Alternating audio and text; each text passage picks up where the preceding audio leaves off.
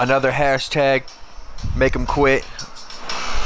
We got uh, Sixers versus Golden State. Again, I'm the home, uh, the away team. You see, I ripped Steve Blake, and I had previously just scored on a, maybe a three-pointer or a dunk or something like that. I can't recall with perfect memory, but as you look at the very beginning of the video, you'll see I scored, and then he got the ball back. I stole it, gave him a good old Tony Wroten dunk, and guess what that leads to? You darn right.